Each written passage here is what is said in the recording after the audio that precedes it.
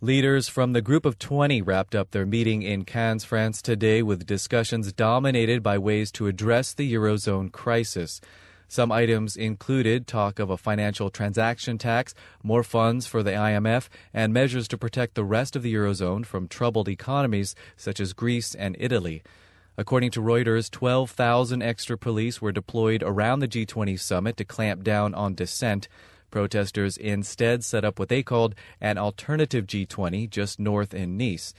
We're joined on the phone by one of the organizers of the week's events. Nathalie Péré-Marzano is the director of the Center for Research and Information for Development, a coalition of NGOs taking a lead in the summit in Nice. Nathalie, welcome to FSRN. Hello. The G20 features a small group of leaders from the world's richest countries. Now, much of the news this week has been taken up with Greece, where a national referendum was to be held on the EU bailout plan, and then the prime minister pulled back from that. But often what's lost is the overall picture here. What issues are important to the protesters there in Nice, and, and what are people calling for?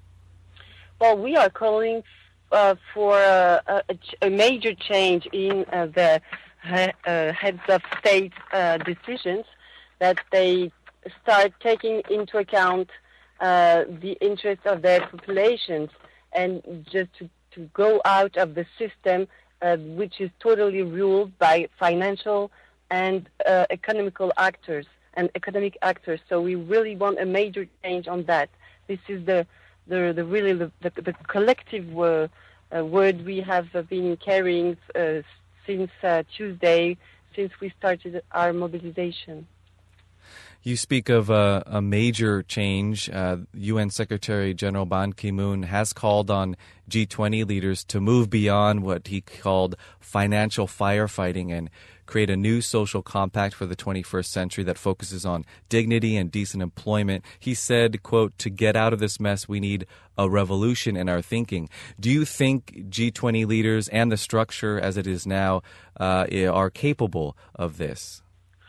No, unfortunately, we, we uh, don't think that the G20 leaders can do that and that the G20 is, would be in itself a space that would uh, allow this major change uh, we're talking about.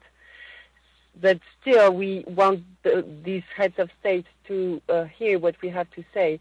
But we do not think that the dynamic inside the G20 can allow a major change.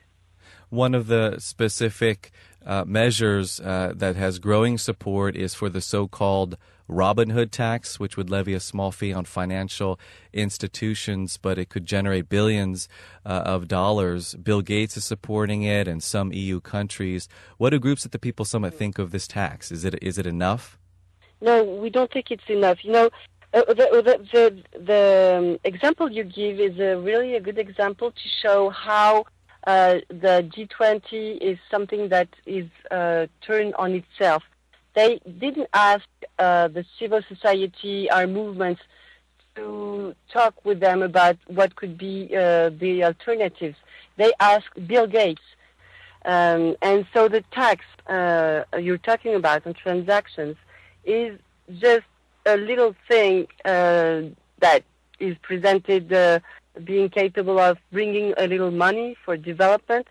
And we, in the mobilization, we ask for taxes that could uh, try to uh, really regulate financial market, uh, go out of speculation, and really uh, change this financial system into something that is more healthy. So what is being talked about on this uh, tax on transaction is really not enough. In order to get your ideas out there this week, there have been a, a, series of events since Tuesday taking place in Nice. How has been the police response to that? What has been the police presence at those events, and, and what, what response and reaction has there been? Yeah, so that's a very important point you're, you're talking about. Uh, we have faced uh, many, many, many obstacles to organize a, civ- a citizen and a civil society mobilization in Nice up to the end, it has been very, very difficult. And then we have been facing uh, security forces in a, in a, in a in a way we had we had never seen. I mean, it was so many uh, security force in Nice we couldn't walk uh, without having someone following us or preceding us. You cannot keep uh, us uh, of expressing ourselves up to this point. This is totally unacceptable. Nathalie Péré-Marzano is one of the lead organizers for the Alternative G20 Summit wrapping up today in Nice, France. Nathalie, thank you for your time. Well, thank you. It was a pleasure. Participants in Nice also drew attention this week to the offshore tax havens in nearby Monaco. But heading to foreign soil isn't the only way for businesses to avoid taxes. In the United States, a new report has found that 28% of the most profitable companies in the U.S. paid no federal income tax in at least one out of the past three years. And 30 had a negative tax liability, meaning they potentially made money off U.S. taxpayers. The report is from Citizens for Tax Justice and the Institute on Taxation and Economic Policy. The companies were able to take advantage of legal corporate tax loopholes, often lowering rates to below what average Americans pay. The 280 companies examined in the report received more than $220 billion in tax subsidies. 10 defense contractors had their overall tax rate drop nearly 50% since 2008.